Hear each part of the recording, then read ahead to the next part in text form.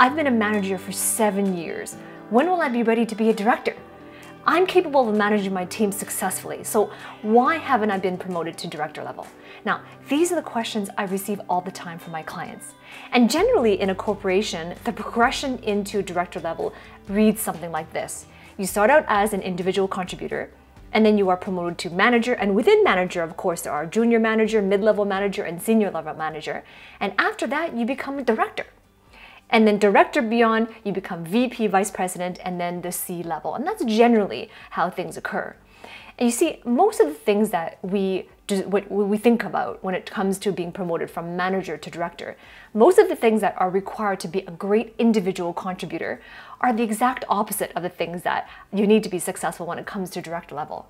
So that's why in this video, I want to share with you some key strategies that I share with my clients as well when it comes to being competitive and positioning yourself for a director level even before you have the official title.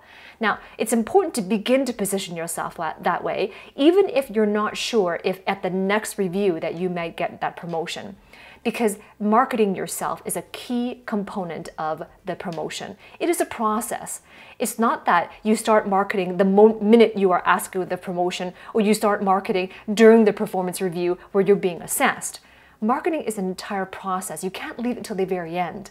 So that's what I want to share with you today on some of the key strategies that you can implement right away. And just a hint, a lot of them require a mindset shift right? And so that's why you can get you can get kind of you can get away for it for a while when it comes to being an individual contributor and being used to that role.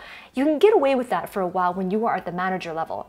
But as soon as you are at the director level, it's a whole different game if you can think of it as kind of like a game board. You have a game board, which is at the individual contributor, and that could bleed into manager level, and you can still be successful and feel like you're making progress. But at the director level, it is a completely different game board. Think of it as board games, right? What happens when you play a different board game? Different rules, different strategies for success. And that's exactly how you want to think about it when it comes to manager versus director. Different rules and different strategies for success. So at the driver level, you got to start to operate cross-functionally and manage, be used to and have the vernacular on how to manage a larger team with a much broader set of responsibilities. So what I want to share with you in this video are the ABCs of how to go from manager to director and I want to hear from you as well. Comment below if what I'm saying with you resonates with you and this is an interesting topic for you. Give me a thumbs up as well. Let me know you're here and remember to subscribe to my channel. Ring that bell below the video as well so that you can be notified every time I release a new video. Right, so ABCs of how to become manager and being promoted to director. ABCs. A is for articulate. Articulate what? Articulate new standards of excellence. And this is as a director. One of your key roles on the director level is to lead a team, and you're leading them to adopt new processes. These new processes are key in the corporation to lead to improvements. And the improvements that a company is aiming for at a director level, the improvements you are able to provide them are orders of magnitude higher than what you have been able to achieve as a manager. So this is orders of magnitude higher. Think about the way, the, the improvement of processes that you had as an individual contributor and as a manager, and think bigger than that. And that is the director level. Right? Managers lead a team to execute based on established processes. And as a manager, you're used to meeting benchmarks and as an individual contributor as well. And it might be that when you were an individual contributor, you might have excelled in those same processes that now that you're a manager, you're teaching your teams how to excel those processes and implement those processes well. And so you're essentially, as a manager, you're leading your teams to do what you did successfully when you were an individual contributor. Now, that I understand that process, but that structure is completely different when you are a director level. At a director level, you're not showing the managers what you did when you were a manager. It requires a completely different way of thinking. The director now needs to lead people and teams that they don't directly manage. And that's the key. When you are a manager, you know, junior, senior, mid-level, doesn't matter. When you're a manager, you directly you directly have reports. And your direct reports are reporting to you. So therefore, you tell them what to do, you tell them what the vision is, and you course correct when necessary. But as a director, you are leading cross functional teams, and a lot of the teams that you're leading are not directly reporting to you. Yet you need to influence them, yet you need to articulate down towards them. So they don't directly report to you. So there's this degree of separation, if you will, for lack of a better term. So the question then becomes how do you lead them? Because this requires an entirely different set of leadership and influence skills. Because here's the thing it's one thing to be able to influence people who report to you. And because they report to you by your position as manager, they're willing to do it and they will, they will, they will do as they're told. But it's a completely different ball game. And I always mention this completely different board game. It's completely different, much different thing to be able to influence people that you don't have direct power over. How can you um, empower them? How do you influence them? And how do you get them to execute on your vision? That's a completely different set of leadership skills altogether. So here's what I would suggest. That's why it's important that right now, even before you see a promotion in the horizon, if that's what you're serious about achieving, that type of promotion, then right now get involved. Find ways to get involved in some more cross functional responsibilities, projects that demand cross functional leadership, so that now you can begin to learn what it takes to be successful in that type of directorship environment. By the way, if what I'm saying is resonated with you and you understand the importance of coaching, executive coaching, a lot of directors do.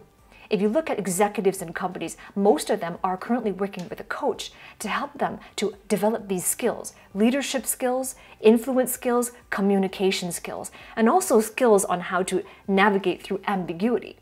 So you're serious about investing in that coaching for yourself, and you want to work with someone who has helped other executives to become successful and continue that growth trajectory, then I invite you to book a call with me.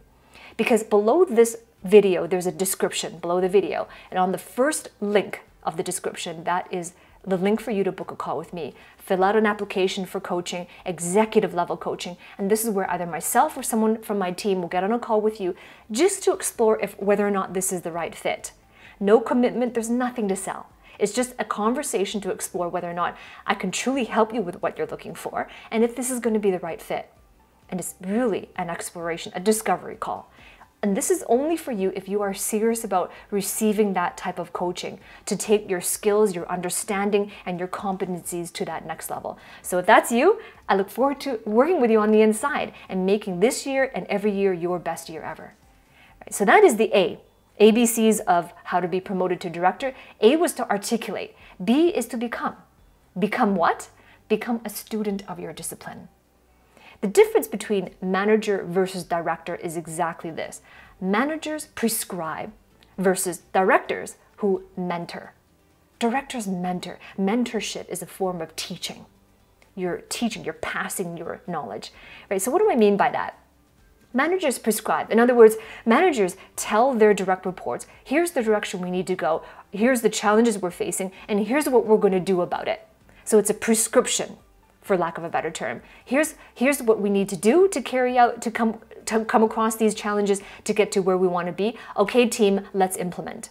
Whereas directors are teaching, completely different skill set and modality of communication. Right? Teaching is not the same thing as prescribing. It requires a completely different mindset and modality of communication. Teaching means that you yourself, as a director or a, or, or a candidate as a director, you, you yourself must understand the mental models behind your profession. Because you've worked so hard to develop your skill sets right now through education and learning on the job, but you got to understand what are my mental models, first principle thinking, so that therefore you can teach people how to think about the thing. Instead of telling them, because as a director, instead of telling them what action to take, you got to deeply understand okay, here's what we're going to do, but here's why this works. Here's why this is going to be successful. Here's why I do what I do. Here's why my approach is this way. And here's why the vision is the vision that it is. So, why do your models work? Why does your strategic thinking work? The way that you implement your critical procedures, why do those things work? You got to understand that at the deepest level for yourself so that you can articulate it. Have you ever noticed that sometimes somebody is could be really good at what they do, but they don't know how to teach somebody to be good at what they do? Have you ever noticed that? Right? Some of the greatest sports sports, uh, some of the greatest athletes athletes out there, or the greatest individuals in their industry, they don't know how to pass on their knowledge. So that's why it's a completely different level of knowledge and communication. To be able to teach it is a much higher level. And that is what will be expected of you as a director. So I would suggest, here's what I would suggest. Start learning your exact mental models, the mental models that made you successful both as a manager and will continue to make you successful as a director. Start to understand them and be, understand them to the point that you can articulate it, communicate it clearly and coherently. And when you understand it, look for the key functional processes and the competencies in your discipline. And that will equip you with the modality of communication that will position you for success. Okay, so we have A for articulate, B is to become, and C is to charter. Charter. Charter what? Charter the course for the company. This is a key, another key strategy for having, positioning yourself into a director position. Charter the course of your company. You need to be able to demonstrate that you have the competency to do that. How do you charter the course? Right? Because the difference, again, in this modality, the difference between a manager and a director is this while a manager is more involved in overseeing employees and supervising the implementation of the team, the director, on the other hand, is focused not just on this, some, this sort of day to day implementation. It's completely different. Directors, what they do instead is they are fundamental at formulating what's going to be next What's going to be next on the company's agenda? What's going to be next on their growth plan? What's going to be next on their innovation trajectory? What's going to be next in their productivity? So you got to understand how am I going to chart the course to come? And you got to do that, chart the course before delivering instructions to the managers below you to carry them out.